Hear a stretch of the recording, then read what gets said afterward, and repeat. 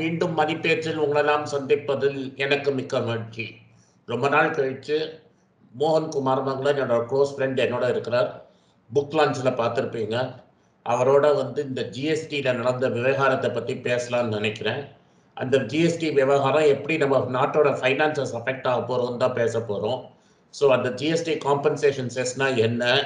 அது எங்கே க்ரெடிட் பண்ணணும்? அதுக்கு பதிலாக எங்கே க்ரெடிட் பண்ணிவிட்டு இப்போ ஆக்ட் ஆஃப் காடுன்னு மேடம் சொல்கிறாங்கங்கிறத பற்றி தான் இன்னைக்கு நாங்கள் ரெண்டு பேரும் பேச போகிறோம் வணக்கம் மோகன்.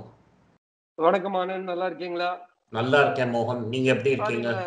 வீட்டில் ஒரு ரூமில் தனிமையில இருக்கேன் ம், பரிசோதனை பண்ணிருக்கேன் கோவிடுக்கு ஆனா இன்னும் எந்த ரிசல்ட்டே வரல. அதனால இந்த மாஸ்க் போட்டிருக்கேன். நான் எங்கேயும் நம்ம வைரஸ் ஸ்ப்ரெட் ஆகக்கூடாதுனால. வெரி குட் சிம்டம்ஸ் ஏதாவது இருக்கா உங்களுக்கு? இல்ல ஒன்லி டூ டேஸ் இருக்கும். உடம்பு வலி இருந்தது ரெண்டு நாள் அவ்வளவுதான். சரி. காய்ச்சல் ஒண்ணும் இல்லை ஸோ ப்ரிகாஷனரியாக டெஸ்ட் ஆமா ஆமா. ஓகே மோகன் இப்போ நீங்கள் பேப்பரில் பார்த்துருப்பீங்க. Two thousand seventeen eighteen eighteen நைன்டீனுக்கு நாற்பத்தேழாயிரத்தி எழுநூற்றி இருபது கோடி ரூபா வந்து அவங்க வந்து ஜிஎஸ்டி காம்பன்சேஷன் செஸ்ஸை வந்து அதுக்குன்னு தனியாக ஒரு அக்கௌண்ட் இருக்குது ஜிஎஸ்டி காம்பன்சேஷன் அக்கௌண்ட்டுன்னு அதில் தான் அவங்க பணத்தை போட்டிருக்கணும். அவங்களுக்கு வந்து அது தூக்கி கன்சாலிடேட்டட் ஃபண்ட் ஆஃப் இந்தியாவுக்கு மாற்றிருக்காங்க கன்சாலிடேட்டட் ஃபண்ட் ஆஃப் இந்தியாங்கிறது நம்மளோட பப்ளிக் அக்கௌண்ட்ஸு அதில் போடுறதுக்கு அவங்களுக்கு ரைட்ஸே கிடையாது. கண்ட்ரோலர் அண்ட் ஆடிட்டர் ஜென்ரல் தான் இதை சொல்லியிருக்காரு. அதுக்கு மேடம் என்ன சொல்கிறாங்க நான் இப்போ ட்ரான்ஸ்ஃபர் பண்ணிடுவேங்கிறாங்க. அதுக்கு ஆடிட்டர் ஜெனரல் சொல்கிறாரு அப்படி பண்ண முடியாது. ஏன்னா அது அப்ராப்ரியேஷன் ஆகிடும் நீங்கள் பண்ணதே தப்புங்கிறாங்க. அதை பற்றி மேடம் பேசாமல் இருக்காங்க.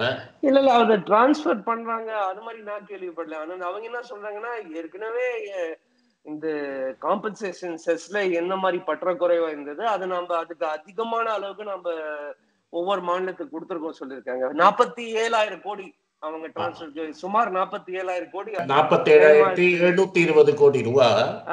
அது வந்து. கன்சாலிடேட்டட் ஃபண்ட் ஆஃப் இந்தியாவில் இருக்கு.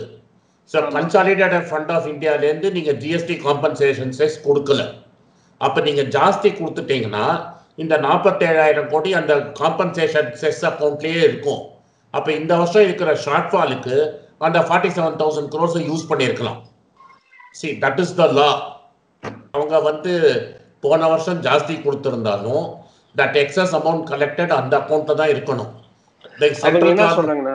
இது வரைக்கும் ஜிஎஸ்டி ஒரு ஒப்பந்தம் மத்திய அரசாங்கத்துக்கு மாநில அரசாங்கத்துக்கு இடையில ஒரு ஒப்பந்தம் இருந்தது.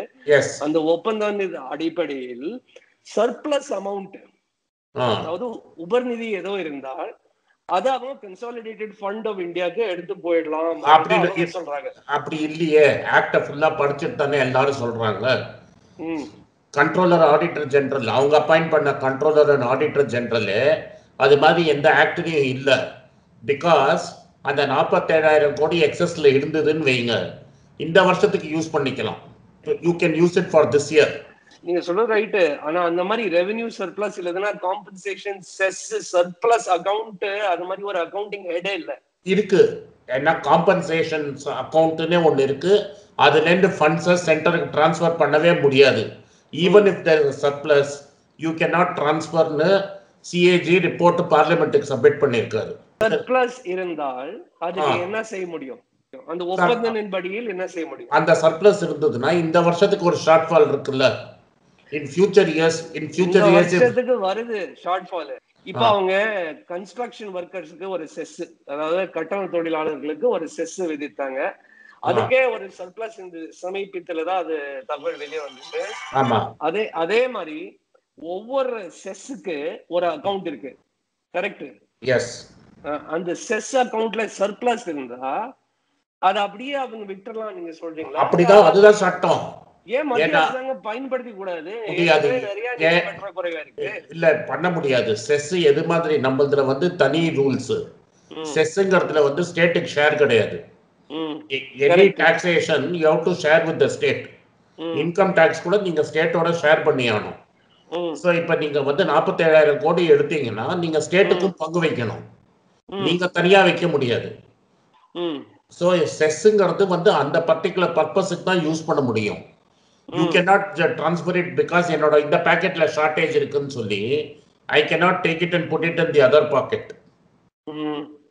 That is not allowed அதுதான் அவர் அங்கே ஃபிளாக் ஆஃப் பண்ணுறாரு இந்த நாற்பத்தேழாயிரம் கோடியை வந்து ஃபிஸ்கல் டெபிசிட்டை குறைக்கிறதுக்கு யூஸ் பண்ணியிருக்காங்கங்கிறத அவர் ஃபிளாக் ஆஃப் பண்ணுறாரு சரி சரி சரி. அப்போ நீ நாற்பத்தேழாயிரம் கோடி எடுத்தேன்னா இந்த வருஷம் ninety four thousand crores shortage இருக்கிறச்ச அந்த நாற்பத்தேழாயிரம் கோடி நீங்கள் அங்கே கொடுத்து தான் மீதி நாற்பத்தேழாயிரம் கோடி தான் ஷார்ட்டேஜ் மத்திய அரசாங்கம் மாநில அரசாங்கம் சேர்ந்து வரக்கூடிய வருமானம் முப்பது சதவீதம் சரிந்து இருக்கிறது.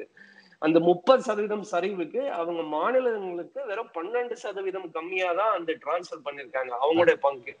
அவங்க கடைசியில் என்ன சொல்கிறாங்க நார்மலாக ஃபோர்டீன் பர்சன்ட் க்ரோத் அசியூம் பண்ணிக்கிறோம் டேக்ஸில் this year fourteen percent growth in tax is not possible but you assume last years rate last year என்ன கலெக்ட் ஆயிருக்கோ அதை மட்டும் கலெக்ட் பண்ணி எக்ஸ்ட்ரா ஃபோர்டீன் பர்சன்ட் ரெவன்யூ கொடுக்காம இருந்தீங்கன்னா இந்த நாற்பத்தி ஏழாயிரம் கோடி வந்து ஸ்டேட்டுக்கு கொடுத்துருந்தீங்கன்னா அது டெஃபினட்டாக ஸ்டேட்டுக்கு ஹெல்ப் பண்ணும். இன்னைக்கு தமிழ்நாடு கவர்மெண்ட்டாக இருக்கட்டும் கேரளா கவர்மெண்ட்டாக இருக்கட்டும் கேரளா கவர்மெண்ட் நடுவில் சம்பளத்தை டிலே பண்ணாங்க. மகாராஷ்டிரா கவர்மெண்ட் சம்பளத்தை டிலே பண்ணிச்சு.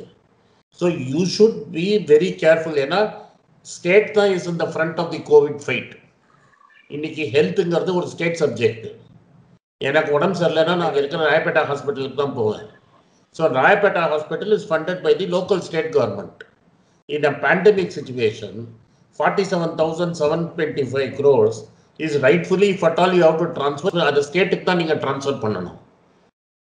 அவங்களுக்கு காம்பன்சேட் பண்ணுறதை வாங்கி இல்லாட்டா நீங்கள் டிரான்ஸ்பரண்ட்டாக பட்ஜெட்டில் சொல்லியிருக்கலாமே. நீங்கள் சொல்கிறது ரைட்டாக இருந்தால் பட்ஜெட் ஸ்பீச்சில் ஒன்று சொல்லியிருக்கலாம்ல. சிக்ஸ் தௌசண்ட் க்ரோஸ் எக்ஸ்ட்ரா இருந்தது. நாங்கள் அதை வாங்கிட்டோம்.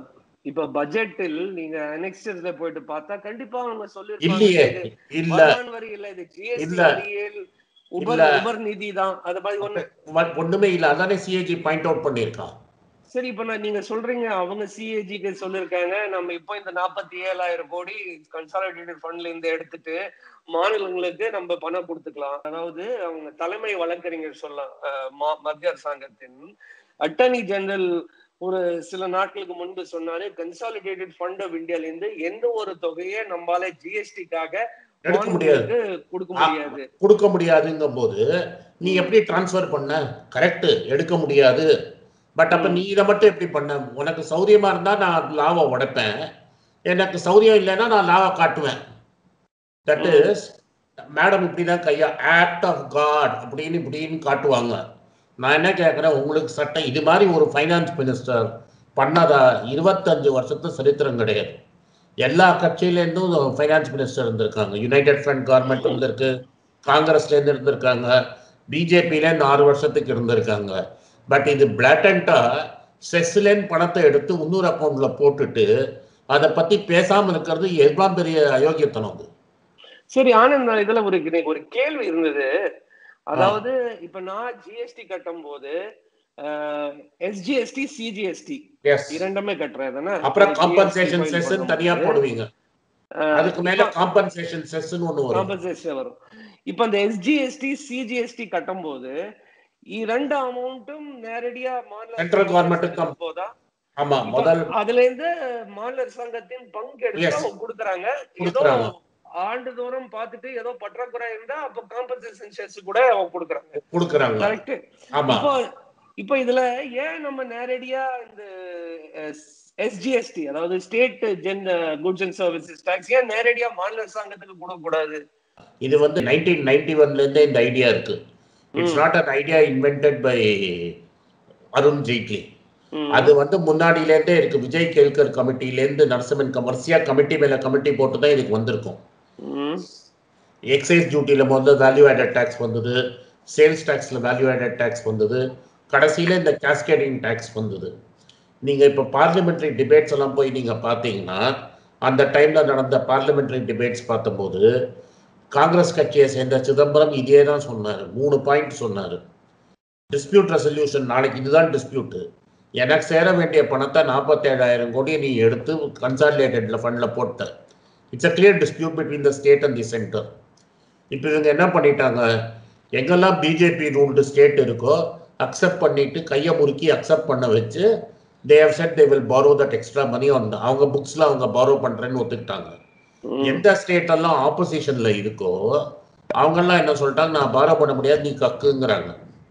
ஸோ இப்போ கடைசியில் என்ன ஆகும்? டிஸ்பியூட் ரெசல்யூஷன் இது வரைக்கும் என்ன பண்ணியிருக்காங்கன்னா எல்லாமே ஒரு கன்சென்சஸ் முடிவில் தான் போயிருக்கு.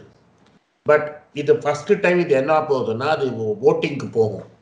ஓட்டிங் போச்சுன்னா டூ தேர்ட்ஸ் அவங்களுக்கு ஓட்டு வேணும். அதில் ஒன் தேர்டு வந்து ஓட்டிங் சென்டருக்கு பவர் இருக்குது மீதி டூ தேர்ட்ஸ் தான் ஸ்டேட் இருக்குது பிஜேபியும் பிஜேபியோட கூட இருக்கிற கட்சிகள்லாம் டூ தேர்ட்ஸுக்கு மேலே ஓட்டை போட்டு இன்னைக்கு ராஜ்யசபாவில் என்ன நடந்ததோ அதே தான் இங்கேயும் நடக்கும். அதனால இப்போ ஐசாக்னா என்ன சொல்கிறாருன்னா கேரளாவோட அமைச்சர் ஐசாக்னா நம்ம டிஸ்பியூட் ரெசல்யூஷன் போயிடலான்னு இதுக்கு தான் சிதம்பரம் என்ன சொன்னார்னா டேக்ஸ் மேட்டரில் எந்த பியூரோக்ராட்டுக்கும் ஸ்பெஷலைசேஷன் கிடையாது. ஜிஎஸ்டிக்கு ஒரு டிஸ்பியூட் ரெசல்யூஷன் ட்ரைபியூனல்னு ஒன்று வேணும். ஒரு மூணு நாலு judge who are experienced in indirect taxes they should be appointed to solve this problem so only that will resolve the problem இப்போ நீங்கள் என்ன சொல்லியிருக்கீங்கன்னா இந்த ஆக்டில் ஒரு டிஸ்பியூட் ரெசல்யூஷன் மெக்கானிசமே கிடையாது. கவுன்சிலே டிசைட் பண்ணுங்கிறீங்க. கவுன்சிலே டிசைட் பண்ணிச்சுன்னா அம்மையார் என்ன பண்ணுவாங்க? அவங்களுக்கு வேணுங்கிற ஆளாக தூக்கி அதில் போட்டு யூனிலேட்டரலாக ஒரு ஜட்ஜ்மெண்ட் பாஸ் பண்ணுவாங்க. நாளைக்கு எனக்கும் உனக்கும் ஒரு சண்டை வந்துடுச்சுன்னு வைங்க மோகன். நீங்கள் ஒரு ஆர்பிட்ரேட்டர் அப்பாயிண்ட் பண்ணுவீங்க நான் ஒரு ஆர்பிட்ரேட்டர் அப்பாயிண்ட் பண்ணுவேன். அந்த ரெண்டு ஆர்பிட்ரேட்டரும் சேர்ந்து மூணாவது ஆர்பிட்ரேட்டர் அப்பாயிண்ட் பண்ணுவாங்க. இப்போ இங்கே என்ன ஆகும்னா since they control the GST council by over holding majority majority அவங்க கையில் இருக்கிறதுனால டூ டு ஒன் அவனே ஆர்பிட்ரர் போட்டு இது தவறு இல்லைன்னு சொல்லுவாங்க. என்னோட கேள்வி வேற கேள்வி இருந்தது. சரி இது கூட நல்ல பாயிண்ட் தான். நான் என்ன கேட்க வந்தேன் உங்களுக்குன்னா இன்னைக்கு ஜிஎஸ்டி சட்டத்தில் நாம சிஜிஎஸ்டி எஸ்ஜிஎஸ்டி ரெண்டு அமௌண்ட்டை கட்டும் போது ரெண்டுமே மத்திய அரசாங்கத்துக்கு போயிட்டு சேருது. அது மத்திய அரசாங்கத்துக்கு போல அதுதான் நான் திரும்பி திரும்பி உங்களுக்கு சுத்தி காட்டுறேன். That is a common pool account it is not going to central government தவறா நம்ம அக்கௌண்ட்ல இருந்து அரசாங்கம் அவங்க இஷ்டத்துக்கு எப்ப வேணாலும் காசு எடுக்க முடியாதுன்னு எப்பெல்லாம் சென்டர் கை வைக்கிறானோ நீங்களும் கை வைக்கலாம். எப்பெல்லாம் இப்போ வந்து ஒரு அக்ரீடு இருக்கும்? Thirty days sixty days ninety டேஸ்னு எவ்ரி மந்த் என்னைக்கு சென்டருக்கு பணம் போகுதோ அன்னைக்கே எல்லா ஸ்டேட்டுக்கும் பணம் போடும். Finance minister can not take money from that whenever she once அதுதான் சிஏஜியோட ஆர்டர் நீங்க கேர்ஃபுல்லா பார்க்கணும். இந்த வீடியோ உங்களுக்கு பிடிச்சிருந்ததுன்னா சப்ஸ்கிரைப் பட்டன் அமுக்குங்க. எங்கள் சேனலோட லைக் பட்டன் அமுக்குங்க. பெல் நோட்டிஃபிகேஷனை தட்டி விடுங்க.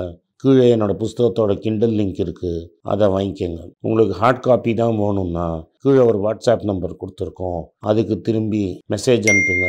எங்கள் டீம் உங்களை காண்டாக்ட் பண்ணுவாங்க. டைரெக்டாக என்னை காண்டாக்ட் பண்ணணும்னு நினைக்கிறவங்க மணிப்பேச்சு அட் ஜிமெயில் டாட் காம்க்கு மெயில் அனுப்பவும்.